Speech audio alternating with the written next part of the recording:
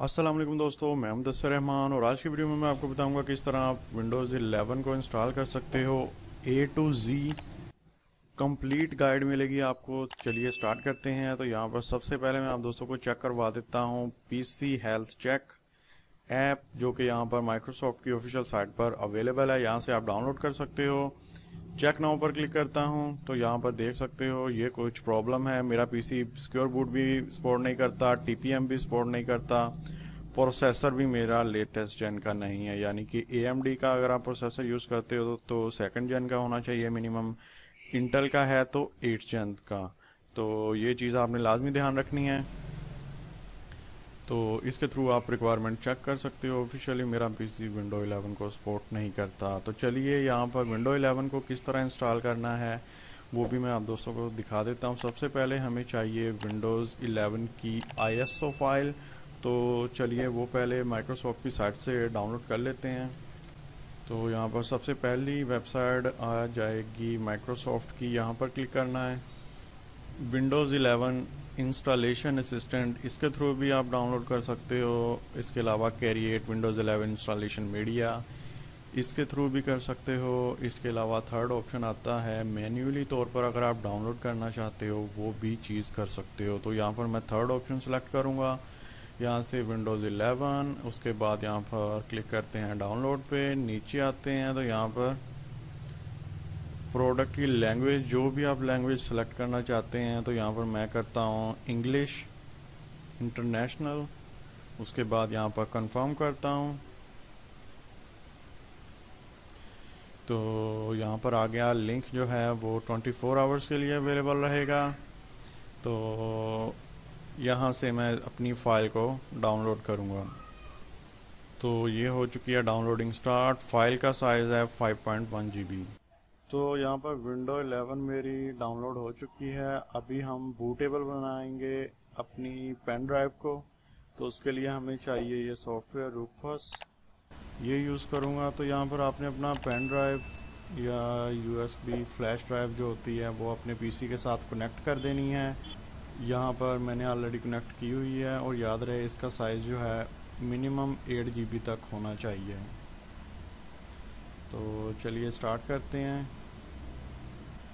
तो यहाँ पर बूटेबल करने से पहले आपने कुछ चीज़ों का ध्यान रखना है। अपनी ड्राइव जो है वो चेक कर लेनी है कि एमबीआर में है या जीपीटी में। तो उसके लिए यहाँ पर हम दिस पीसी पे आकर राइट क्लिक करेंगे मैनेज में चलते हैं। यहाँ पर डिस्क पार्टीशन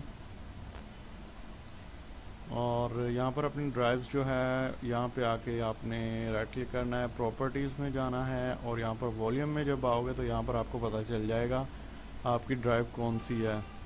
पार्टीशन स्टाइल कौन सा है? मेरा GPT में कन्वर्ट किया हुआ है, आपका MBR में भी हो सकता है तो उस लिहाज से यहाँ पर आपने पेन ड्राइव को बूटेबल बनाना है।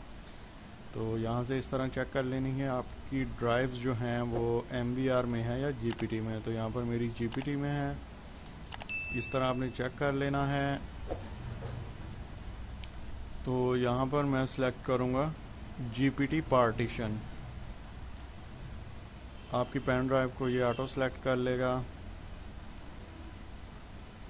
सिस्टम फ़ाइल यहाँ पर एन टी एफ़ एस करेंगे हम। और बाकी कुछ नहीं चेंज करना, यहाँ से हम आईएसओ फ़ाइल सेलेक्ट करेंगे। आईएसओ फ़ाइल यहाँ पर विंडो पे यहाँ पर रखी हुई है मैंने विंडो 11 डेस्कटॉप पे ही। यहाँ पर इसे ओपन करता हूँ और स्टार्ट कर देता हूँ। इसे ओके कर देना है।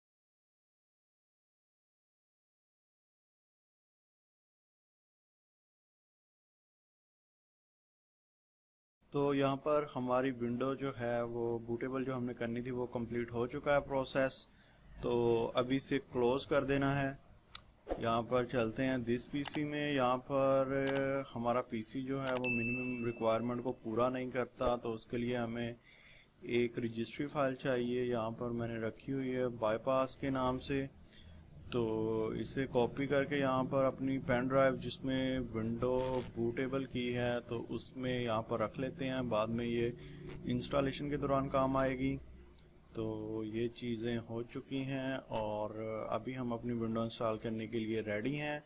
तो अगर आप विंडो को जस्ट अपग्रेड करना चाहते हो, आपका डाटा वगैरह डिलीट ना हो सी ड्राइव में, जैसे कि अभी विंडो 10 इंस्टॉल है, मेरे सॉफ्टवेयर ड्राइवर्स वगैरह इंस्टॉल हैं तो वो भी आप कर सकते हो।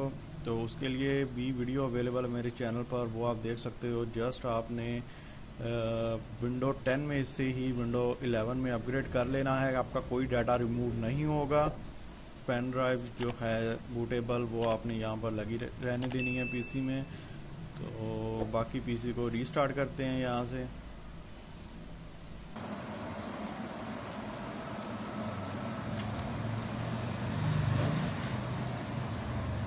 तो यहाँ पर इसने बूट ड्राइव के लिए F10 का बटन दिया है मुझे। तो यहाँ पर F10 प्रेस करने के बाद ये मेरी ड्राइव्स आ चुकी हैं। तो यहाँ से मैं सिलेक्ट करूँगा अपनी डिवाइस पेन ड्राइव जो कि मैंने बूटेबल बनाई है। तो यू एफ़ आई है और यहाँ पर मैं क्लिक करूँगा।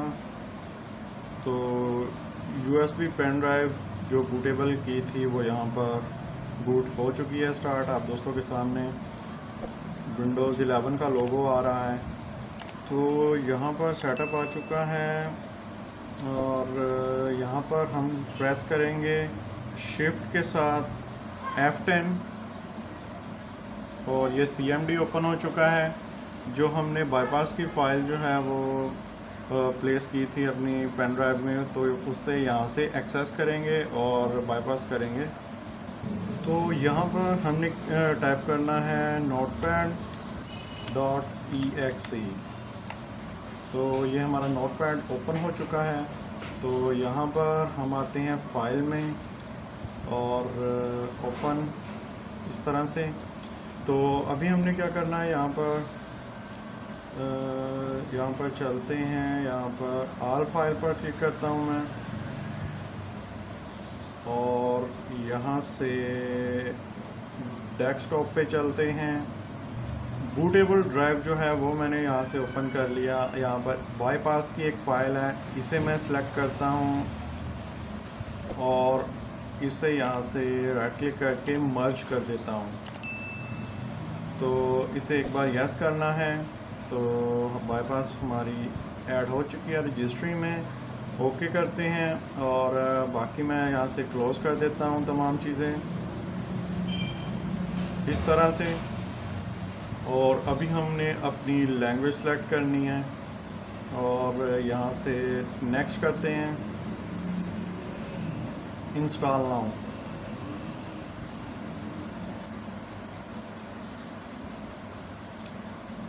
एक्टिवेट विंडोज़ यहाँ पर हमने क्लिक करना है डोंट हैव अ प्रोडक्ट की और यहाँ पर आप दोस्त देख सकते हो, यहाँ पर हमारे पास काफ़ी सारे वर्जन हैं विंडोज़ 11 के, और यहाँ पर हमें कोई भी एरर भी नहीं आई बाईपास हमने कर लिया यहाँ पर मैं करूँगा विंडोज़ 11 प्रो और नेक्स्ट करते हैं इसे। एक्सेप्ट कर लेते हैं, यहाँ से नेक्स्ट करना है और कस्टम इंस्टॉल में चलते हैं, यहाँ से आपने अपनी ड्राइव सेलेक्ट करनी है। जैसा कि यहाँ पर मेरे पास एक ड्राइव अवेलेबल है। Drive zero partition two 120 GB की ऑलरेडी मैंने ये क्रिएट की हुई है। इसमें मैं विंडो इंस्टॉल करूँगा। नेक्स्ट करते हैं। और यहाँ पर ये थोड़ा सा टाइम लेगी। फाइल्स वगैरह कॉपी होने में और इंस्टॉल होने में।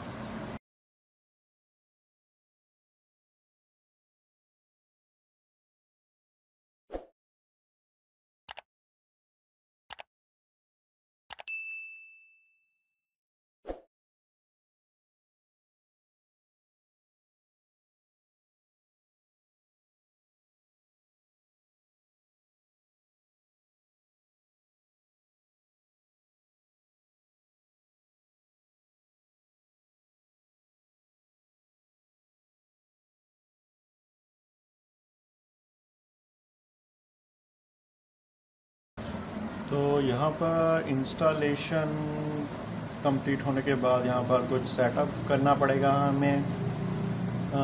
कंट्री सेलेक्ट करते हैं यहाँ से।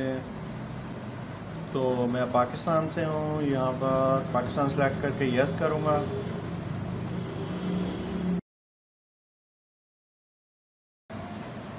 तो कीबोर्ड लेआउट यहाँ पर मैं यूनाइटेड स्टेट इंटरनेशनल रखूँगा। सेकंड लेआउट नहीं चाहिए।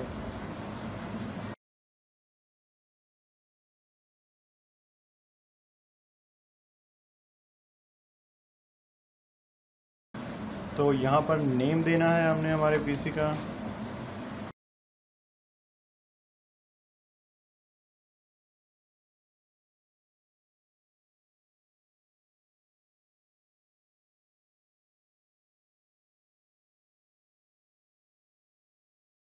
तो यहाँ पर विंडो 11 भी इंस्टॉल है विंडो 10 भी इंस्टॉल है। 10 मैंने अपनी डिलीट नहीं की क्योंकि मेरे सॉफ्टवेयर सब ड्राइवर्स वगैरह उसमें हैं तो यहाँ पर मैं टेस्टिंग के लिए इंस्टॉल करने का दिखा रहा था किस तरह आपने इंस्टॉल करनी है।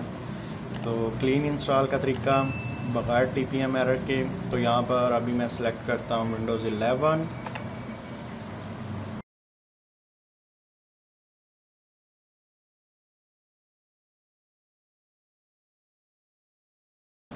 पर्सनल यूज़ के लिए मैं यूज़ करता हूँ अपना पीसी तो यहाँ पर मैं क्लिक करूँगा नेक्स्ट और यहाँ पर मैं अपना अकाउंट लॉगिन करूँगा। तो अकाउंट लगाने के बाद आपने यहाँ पर पिन क्रिएट करनी है।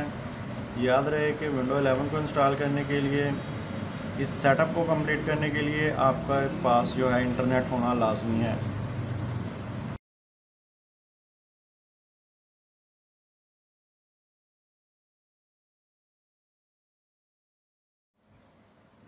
यहाँ पर अकाउंट में यहाँ पर चीज़ें जो है सिंक्रोनाइज हुई हुई हैं तो यहाँ पर मैं चाहता हूँ कि न्यू डिवाइस यहाँ पर मैं सेलेक्ट करता हूँ, सब कुछ फ्रेश होना चाहिए।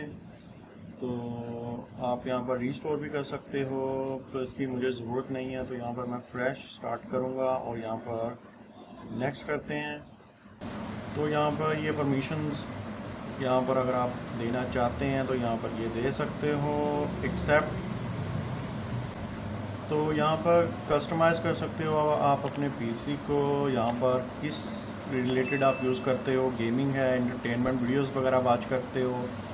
क्रिएटिविटी है editing photo editing video editing इस तरह की चीज़ें। तो यहाँ पर जो है, मैं यहाँ पर इंटरटेनमेंट करूँगा गेमिंग करूँगा क्रिएटिव और बस, ये तीनों चीज़ें काफ़ी है एक्सेप्ट करते हैं। तो अगर आप बैकअप रखना चाहते हैं वन ड्राइव पर तो वो भी आप कर सकते हो। लेकिन मुझे कोई ज़रूरत नहीं है, मैं यहाँ पर डॉन बैकअप करूँगा। नेक्स्ट